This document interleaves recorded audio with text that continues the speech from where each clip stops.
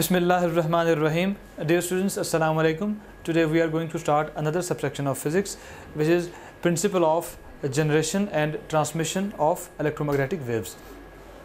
Electromagnetic waves जो आजकल अगर आप आफ्टर ट्वेंटी सेंचुरी आपकी जितनी भी ट्रांसमिशन होती है सिग्नल्स की वो सारी जो है वो थ्रू इलेक्ट्रोमैग्नेटिक वेव्स होती है। इसकी हमें बहुत से एडवांटेज होते हैं। There is no any dependency of medium आप इसको इवन जैसा भी वेदर है जैसी भी सिचुएशन है इवन हिली एरियाज़ हैं या प्लेन uh, एरियाज़ हैं आप जहाँ पर मर्ज़ी इन सिग्नल को यूज़ कर सकते हैं विदाउट कंसिडरेबल नॉइज़ और चेंज इन मैग्नीट्यूड तो आज की डिस्कशन में हम स्पेसिफिकली देखेंगे कि इनको हम जनरेट कैसे करते हैं। ठीक है? और इनके जनरेशन में कौन कौन से फिनमना वो इन्वॉल्व होते हैं? और जनरेट करने के बाद जो सबसे बड़ा प्रोसेस होता है, वो है ट्रांसमिशन होता है। और ट्रांसमिशन को हम कैसे इफ़ेक्टिव बनाते हैं? और at the end we have reception कि हमारे पास जब इनको हमने रिसीव करना है, किसी भी सिग्नल को थ्रू अगर इलेक्ट्रोमैग्नेटिक वेव्स तो किस प्रोसेस के थ्रू करेंगे? और ये सारी चीज़ें जो है, ये कैसे गवर्न करती हैं? इनको हम वीडियो ट्यूटोरियल के थ्रू भी देखेंगे। उससे सारी जो पिक्चर आपकी वो क्लियर हो जाएगी। तो स्टार्ट करते हैं।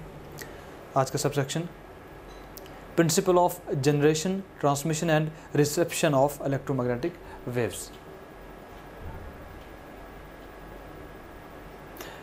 so how we generate electromagnetic waves सबसे पहले इसका मैथमेटिकल मॉडल देखते हैं। To generate electromagnetic waves we need changing magnetic flux that will produce changing electric field ठीक है? आपका चेंजिंग जब भी मैग्नेटिक फ़ील्ड में चेंज होगी, उसकी वजह से लाजमी एक इलेक्ट्रिक फ़ील्ड प्रोड्यूस होगा। और वो कैसे प्रोड्यूस होगा? That is equal to one over two pi R delta flux M divide by delta T अब ये हमारे पास जो रिलेशन है दीज आर कम्प्लेक्स रिलेशन हमें क्या देखना है? हमें सिर्फ़ ये देखना है कि how changing magnetic field is produced and changing electric field is producing जैसे ही आपका मैग्नेटिक फ्लक्स चेंज होगा delta flux divide by delta T that will result into an electrical field so changing magnetic field is producing an electric field. In the same manner changing electric flux will produce change in magnetic field. That process is governed by this mathematical equation delta flux E divided by delta T. Change in electric flux would produce magnetic flux so changing magnetic field will produce electrical field.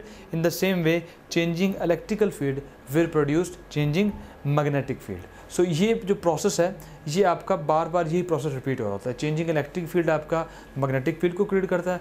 फिर further वो magnetic field change in electric electrical field and in the same way ये process आपका जो है वो repeat होता है। So oscillation of electric and magnetic field produced electromagnetic waves आपकी इलेक्ट्रोमैग्नेटिक वेव्स असल में वो कम्बिनेशन होती है changing electric field and changing magnetic field ठीक है? So this oscillation of electrical and magnetic field is actually given a name that is electro electromagnetic waves it involve the phenomena of electro electric phenomena and it also involves the phenomena of magnet that is magnetic field so electromagnetic waves are the oscillating electrical and magnetical fields इस चीज़ को हम इंतहाई एक आसान से circuit से produce कर सकते हैं।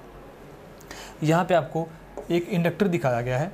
तो आप इंडक्टर को जब भी एसी प्रोवाइड करेंगे तो उसमें आपको, आप जानते हैं कि AC is a varying source ये अपनी जो फ्री अपना जो डायरेक्शन है, वो चेंज करता है। तो जैसे ये डायरेक्शन चेंज करेगा इंडक्टर में से तो inductor will produce a magnetic field around it जब भी किसी कंडक्टर में इंडक्टर के क्रॉस आप एसी लगाते हैं तो उस करंट की वजह से वो एज ए मैग्नेट बिहेव करता है। ठीक है हम ऑलरेडी डिस्कस कर चुके हैं। तो वो जो मैग्नेट होगा या वो जो मैग्नेटिक फ़ील्ड होगा, वो क्योंकि एसी की वजह से प्रोड्यूस हो रहा है तो वो भी क्या होगा? वो चेंजिंग मैग्नेटिक फ़ील्ड होगा। जैसे एसी का करंट चेंज होगा, वैसे ही आपके साथ वो मैग्नेटिक फ़ील्ड भी चेंज हो रहा होगा। So in this case